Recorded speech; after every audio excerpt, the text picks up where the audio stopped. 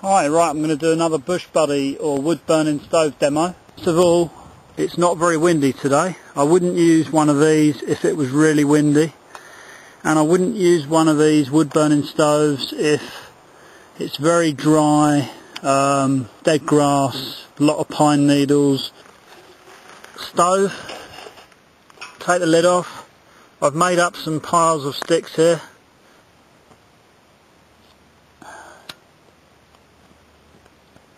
So I drop those in there.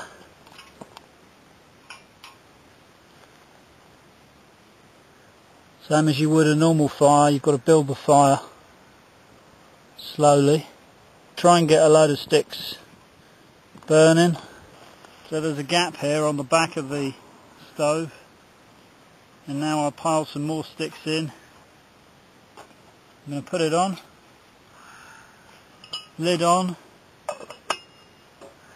if it did go out, what I would do is put some more thin ones in, uh, or really thin ones, and then just lift the pot off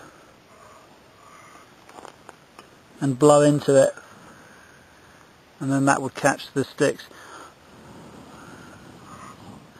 There we go.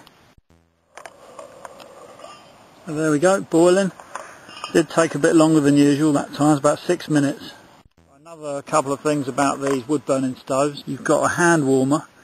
You can sit drinking your tea, eating your breakfast and warming your hands at the same time, which is brilliant. That will stay hot or warm for 15 minutes at least. Um, so what to do with the hot ashes? I hope you found that interesting. Happy trails. Oh, I hope you found that interesting. Happy trails. Right, so it's cooled off a little bit. I'm going to carefully pick it up from the bottom because it's still very hot. I've cleared a space on the trail. Just doused them. Completely.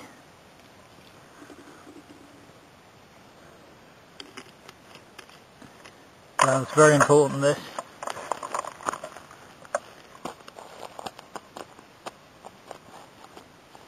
And then while I pack up that will soak down and there'll be no heat at all left. In fact there's hardly any now.